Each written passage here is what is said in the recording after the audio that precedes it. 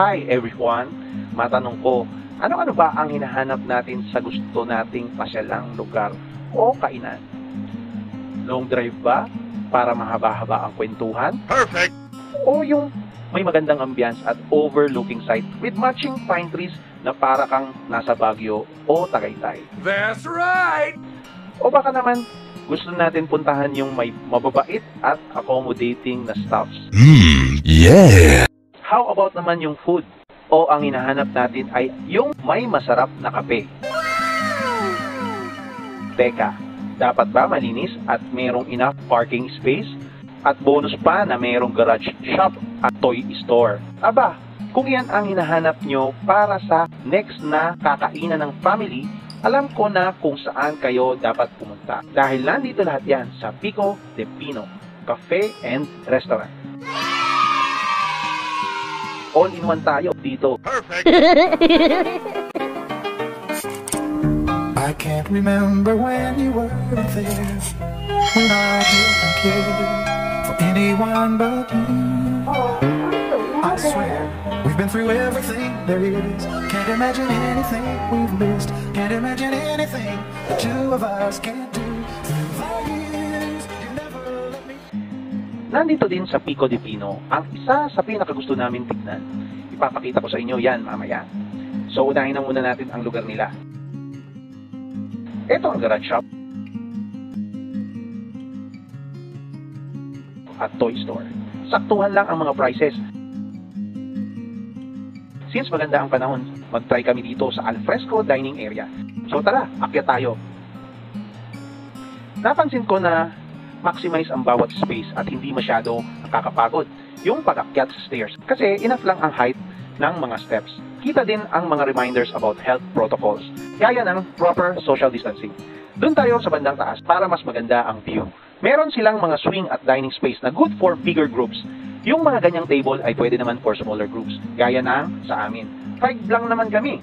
From here ay tanaw ang Laguna Lake at ang sarap ng simoy ng hangin. Iisipin mo na nasa Tagaytay ka, pero nandito ka lang sa Tanay Rizal. So far ay may ongoing construction dito para mas mapaganda ang area. Ito ang napili naming spot. so pili muna kami ng food. Pinili namin yung ilan sa mga best sellers daw nila. Meron silang chicken curry na talagang nagustuhan ni Mama. Great job, buddy. You did it. Meron din butter chicken and barbecue. Siyempre, present ang pork tempo sa combo meal and rice. We recommend itong caramel macchiato. Perfect. Naku, sa lasa, hindi ito magpapabuli sa Starbucks. Oh, I love it. At sinubukan din namin ang mango cream. Luckily, may DIY calamansi juice. Check their menu and prices. Reasonable ang prices. At sobrang sulit na gusto namin lalo na ang chicken curry. Great job, buddy. If you want to visit them, please see their address and contact number. Confident kami na mag-e-enjoy din kayo sa Malagtagaytay slash Baguio na mga overlooking site. That's right. Ito ang flat podium nila. This place offer a lot of opportunities and potential. Tipong pwede ka mag-stargazing every night or maglagay ng camping tent. Naisip ko lang. Itong restaurant nga pala ay conveniently located along the highway. Kaya kitang-kita siya. Maya-maya ay dadami na ang tao kaya ginrab na namin ang chance mag-picture at mag-video. Nag-enjoy kami sa place dahil hindi mainit kahit ang haling tapat. Presko talaga. Naisip ko lang, nakakatuwa lang kasi na year 2017, nakavisit na kami dito and looking at this place, madami na silang na-improve. Here are some of our throwback pictures last 2017.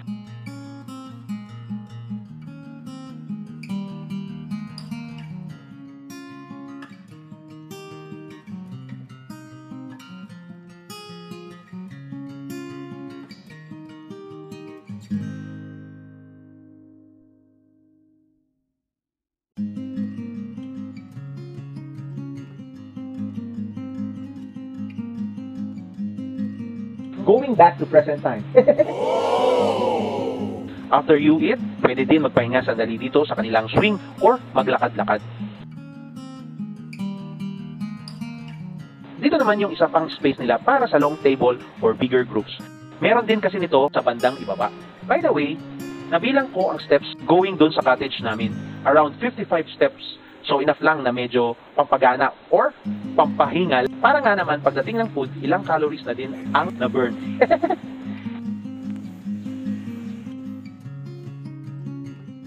Tingnan din natin itong main restaurant nila.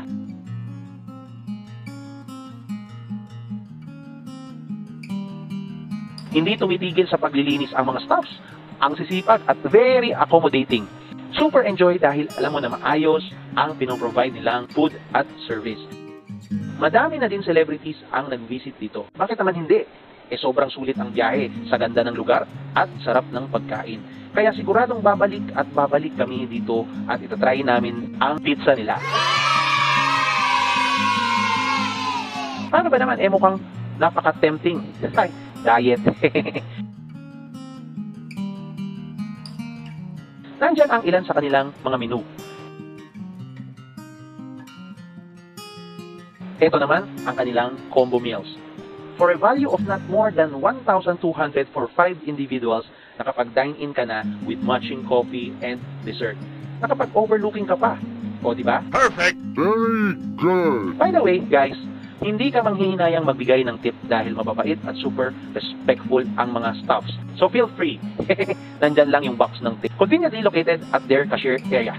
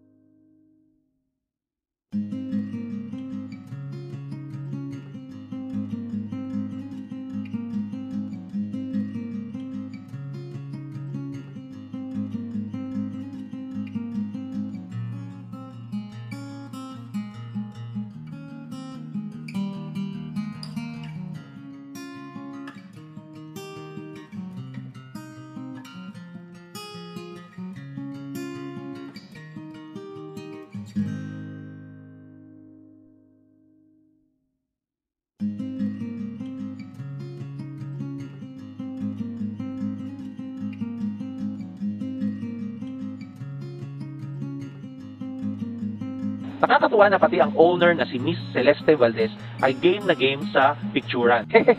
ang sweet ang mami niyang si Miss Glo. Kasi parang narinig namin na nanay ang tawag sa kanya ng mga staffs. Oh, I so love it. Naalala ko, meron pala akong isa pang ipapakita sa inyo na sobrang nagustuhan ko dito. Eto yun. O di ba? Nakakaliw silang panoorin. Oh, I so love it. Sabi ng isang staff ay inilalabas din daw nila ang mga ito minsan sa dining area. Oh. So hanggang dito na lang muna ulit ang video namin for today. Hope you enjoy what we shared and don't hesitate to visit this place. Confident kami na gaya namin, marerelax din kayo. Dahil kahit nasa gitna pa din tayo ng crisis dahil sa pandemic, we still have a lot of reason to enjoy life. Okay? Let us continue this journey trusting that God is God. Again, always remember, God loves you. Indeed, in every season, He loves you. God bless.